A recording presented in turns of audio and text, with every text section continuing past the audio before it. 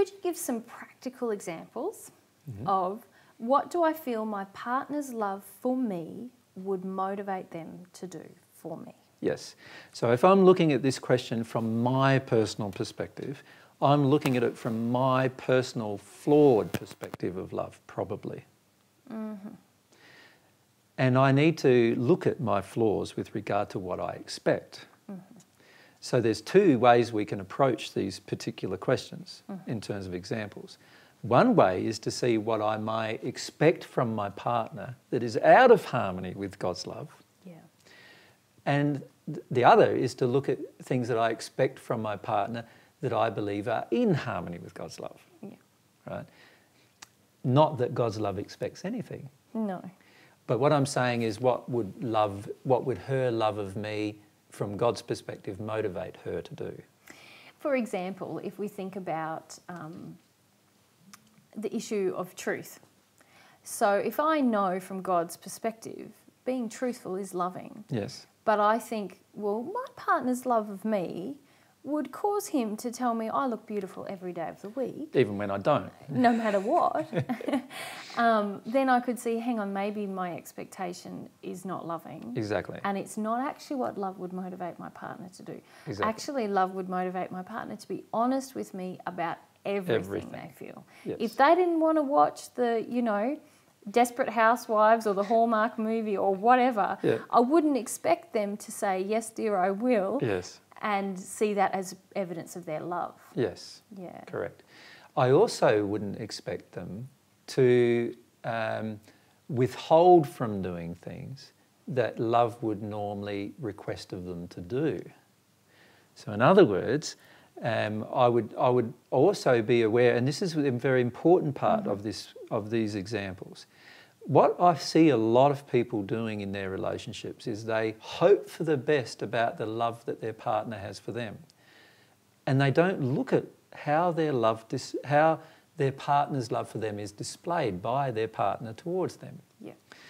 and so so if we personalize these examples mm-hmm. i need to examine how not only do you show your love for me but also whether my expectations of how you show your love for me are actually in harmony with what god would say is loving so, if I can give two examples, uh, example of each of these particular things. If I expected you to do something for me that I know God's love wouldn't do, then I know that I'm the person who's out of harmony with love through my expectation. Yes. But if I desired that you do something for me that I know God's love would do, and you don't do it, then I know you're the person out of harmony with love from God's perspective. Yeah. Does that make sense? It does. Yeah. Do could you give some uh, specific examples? Or Yeah, let's, let's look, look at sort of real examples of that. Yeah. Let's say I desire that you don't tell me the truth when I lie to my friends about things, like I might exaggerate. And, and every time you go, you exaggerated, I go, I don't want to know. You leave me alone, right? That's me wanting you to do something that is going to actually finish up being um, a betrayal of yourself. Yeah. And also, I want you to betray me in a way. I, I- I'm wanting it because I want to avoid how I feel when somebody tells me that I'm exaggerating. Mm-hmm. Does that make sense? Mm-hmm. So, what I'm doing there is I'm requesting of you something that is not loving. Mm. I'm thinking it's love, but it's not. You're supporting a lie. Mm-hmm. And if you were in harmony with God, you wouldn't want to support the lie. Yeah. So, so that's an example on one side. On the other side, let's say you wanted me to exaggerate mm. because you get then to feel certain powerful feelings or certain emotions that I'm also getting to feel. In other words, you have an addiction towards exaggeration as much as I do. Mm-hmm. That is also not loving Yeah. right? That is also out of harmony with love. That's, that's you expecting me or wanting me to do something out of harmony with love because it supports your position of love. And a person who loved from God's perspective would not do that. Mm-hmm. Right? Even though she knew she wanted it, she wouldn't do it. Yeah. Yeah. And if I knew that, I would not allow that to occur. I'd go, actually, I feel you supported that or you wanted me to exaggerate. Do you know what I mean? Mm-hmm. And I would mm-hmm. discuss that. Mm-hmm. So that's just a little example. We, we can come up with much larger examples, of course, where bigger issues come up. Yeah. Issue, we see these issues often coming up with friends, Mm-hmm. you know, where you know that a friend of yours has cheated on a husband. Mm-hmm. And you come along and tell me. Now, my love for myself would dictate that I have to tell him now. Mm-hmm. My love for him would dictate that I have to tell him. But you might not want me to. And I feel that your love for me would motivate you to shut up about it. Exactly. Now there is a problem. Yep. There is a compromise that I'm being asked to make. I'm asked, being asked to betray myself. I'm being asked to betray God's laws in order to make you feel okay. But you told me in the first place. So you obviously had a reason for telling me. What, Yeah. Whatever that reason was needs to be addressed as well. Um, and honestly, if in a good relationship, you'd tell each other everything anyway. But then, if you expect me not to act upon the information I'm given, and you don't want to act upon the information given, then the question is do you love me? I don't think you do. Mm-hmm. And if you're expecting me to not act in harmony with love and truth on this issue, then you don't love me. And that's from God's perspective, mm. not from my own. Yeah. So this is an example of what happens frequently is that one or the other asks the partner to lie for them or to lie to protect their emotions. And to do such a thing obviously would be out of harmony with love, even though the partner thinks it's in harmony with love. Yes. and we mentioned in one of the earlier sets of examples this idea of alleviating fear. Exactly. Most of us feel that if you love me, you will alleviate my fear, You will make my fear go away. be it of uh, My friends, my family, my friends, my family, physical fears, snakes, sexual fears. whatever. Hmm. Yeah. Uh, you'll be the if if a, if another man's threatening me, you'll be the tough guy who comes in and makes me feel safe again. A lot of Even to the point like of beating up the other guy, Yes. which Yeah. is out of harmony with love. Yes. Yeah. So if I'm analysing that, I could go, wow, I actually always want AJ to come in and protect me when I feel afraid in Mm. uh, instances with men. But I know from God's perspective that actually that fear's within me, and nothing He does is actually going to alleviate in the long term. No. So my and in fact, the only thing that's going to correct it with the men is for you to get rid of that fear because Mm. then you'll stop attracting these men. Yes. Yes. So my feeling that it's love that would motivate you to do that, I can then go, oh, hang on, my concept of love is flawed here. Exactly. Exactly. Yeah. Yeah. And so this requires quite a lot of self reflection, which the majority of people in relationships do not actually have. No. Yeah. Most people in relationships are very selfish or self focused. We're only asking the questions from our own perspective. We're not even asking them from God's perspective or what is love or truth. We're just asking them from our own perspective of what do I want? Basically, that's most people have in their relationship. This is why most relationships on earth are very bad. This is why most relationships on earth, you know, are never happy because we're constantly being selfish and then hoping that it works out. The only time you being selfish is going to work out is if you have somebody who's willing to accede or agree with all of your selfishness. Yes. Now, they're not going to love you if they do that because they're not loving you. You're not loving you being selfish. Yes. So they're not loving you, assisting you to be selfish Yeah. either. And if you think they are, then you're in delusion land, actually. And you're never going to have a very good relationship in the long run. And you might think the relationship has lasted 70 years. You, you might still be married 70 years later, on earth even, you know, you're both 90 or something, and, and think this is a wonderful relationship, and it's not.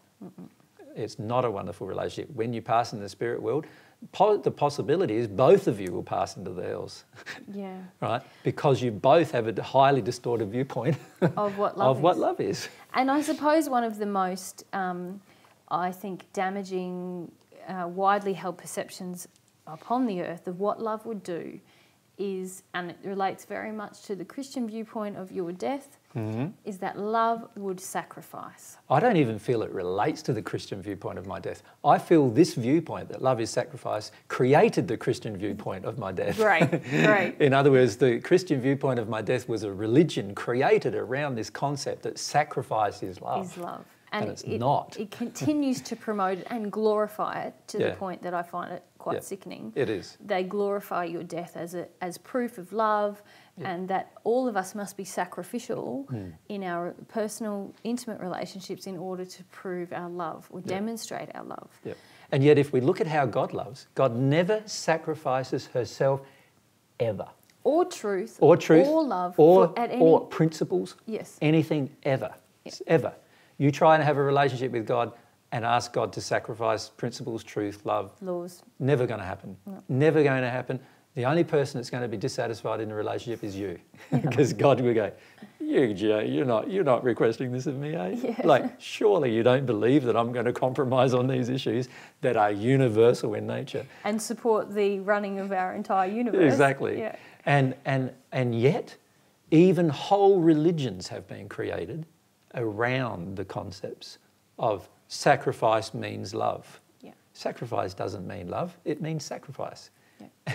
it And can, pain usually. yeah, it can mean love Yeah. under certain circumstances, but not uh, when it's demanded or expected or, or any of these other places. Yes, Uh, and that's true, isn't it? That love at times will motivate us to do something that might be viewed as a sacrifice, But we won't don't see it feel it as like a such. sacrifice because we desire it. Uh, Exactly. love causes, but love causes us to want to do that thing. Yeah. Uh, and So we might, ru- in a, in a desire to help somebody, we might rush into a situation that causes our own death. Yeah. And other people might see that as a sacrifice, but we won't actually see it as a sacrifice.